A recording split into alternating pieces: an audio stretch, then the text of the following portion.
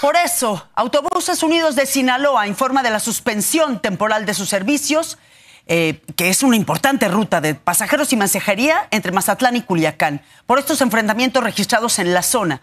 Medida de precaución, seguridad para los usuarios y las mercancías, el servicio de los Autobuses Unidos de Sinaloa se reanuda hasta nuevo aviso.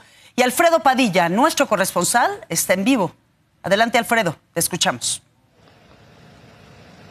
Carly Bere, qué gusto saludarte. Justamente nos encontramos en otro de los bloqueos que se ha registrado en la capital del estado de Sinaloa en esta tercera jornada violenta que se ha registrado en Culiacán. En la avenida Aztlán y Benjamín Gil, un camión de una empresa refresquera fue despojada e incendiada para bloquear este, esta intersección en la misma que da hacia la calzada del aeropuerto. Comentarte que esa situación pues ha causado miedo y pánico entre la población ante los diferentes bloqueos y quema de vehículos que se están registrando en la capital sinaloense. Como podemos ver en la imagen que nos regala nuestro compañero Jonathan Soto, totalmente incendiada quedó la cabina de este, de este camión. Comentarte también que hace unos momentos también se registró otro bloqueo con quema de dos vehículos de carga en la intersección de la carretera costerita, así como también de la avenida Obregón. Ya las autoridades implementan operativos para retirar estos vehículos que están bloqueando el paso. Comentarte que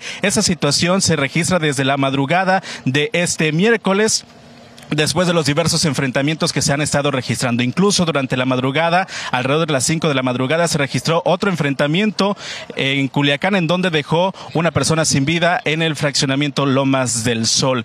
Es lo que es la actualización de la información de los bloqueos y actos de violentos que se están registrando en Culiacán. Carla. Muchas gracias, Alfredo, y por supuesto volvemos y, y bueno, te deseamos, te deseamos que todo está bien esta mañana.